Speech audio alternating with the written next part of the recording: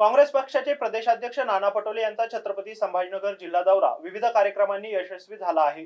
यावेळी त्यांनी शहरातील सर्व धार्मिक स्थळांना भेट देत सामाजिक सलोखा जपत एकतेचा संदेश दिला आहे. तसेच कर्नाटक विजयाचा आनंद देखील उत्साहात साजरा करण्यात आलाय.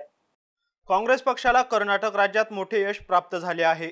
निर्विवाद बहुमत मिळाले. भाजपची पिछेहाट झाली आणि दक्षिण भारतात भाजपला सत्तेची द्वारे बंद झाली.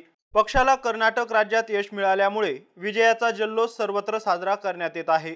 नाना पटोले यांनी छत्रपती संभाजीनगर जिल्ह्यातील भडकल गेट येथे भारतरत्न डॉक्टर बाबासाहेब आंबेडकर यांच्या पुतळ्याला पुष्पहार अर्पण करून अभिवादन केले. त्यानंतर शहरातील प्रसिद्ध सुपारी हनुमान मंदिर गुलमंडी येथे हनुमानाची महाआरती त्यांच्या हस्ते करण्यात आली. त्यानंतर जिल्ह्यातील प्रसिद्ध शहानूरमिया दर्गा या ठिकाणी जाऊन संत शहानूरमिया यांच्या दर्ग्यावर चादर चढवण्यात आली. आणि ईश्वराचे तसेच साधू संतांचे आशीर्वाद लाभो अशी प्रार्थना करण्यात आली. दौऱ्याच्या पुढील टप्प्यात टीव्ही सेंटर येथे छत्रपती संभाजी महाराजांच्या पुतळ्याला पुष्पहार अर्पण करून अभिवादन करण्यात आले आणि छत्रपती संभाजी महाराज यांच्या जयंतीच्या शुभेच्छा देण्यात आल्या. नाना पटोले यांनी सर्व महत्त्वाच्या स्थळांना भेटी दिल्याने यावेळी सर्वधर्म समभावाचे वातावरण निर्माण झाले होते. शेवटी संपूर्ण दौऱ्याच्या अंतिम टप्प्यात जिल्हाध्यक्ष डॉक्टर कल्याण काळे यांची भेट घेऊन त्यांच्या तब्येतीची विचारपूस करण्यात आली. यावेळी डॉक्टर कल्याण काळे यांच्याशी झालेल्या बैठकीत महत्त्वाच्या विषयावर चर्चा झाली.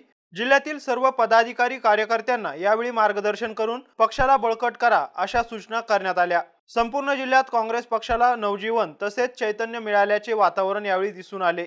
लोकशाहीमध्ये तो संशय येतो कारण की मतदान हे सगळ्यात महत्वाचं व्यक्ती स्वातंत्र्य असते. या मतदानाने प्रत्येक माणूस आपलं सरकार बनवतो. पण त्याला त्या मतदात्याला हे वाटतं की माझं मत दिलेलं मत हे चुकीच्या ठिकाणी चाललेलं आहे. त्याच्यामध्ये जनतेमध्ये अविश्वास निर्माण होणं हीच खऱ्या अर्थाने लोकशाहीची खंटा आहे.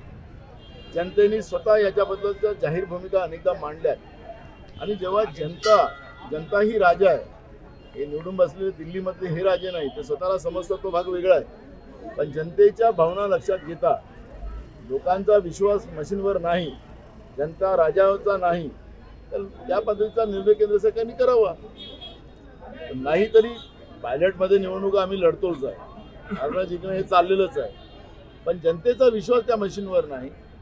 पण आम्ही आता त्याच्यामधला एक फॉर्म्युला शोधलेला आहे. आता मशीन पण आमच्या ताब्यात आलेली आहे कर्नाटकमध्ये.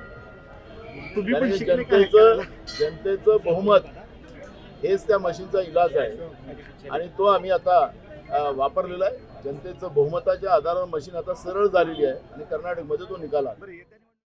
अनवर अलमनूर जाफर एमसे न्यूज छत्रपती संभाजीनगर.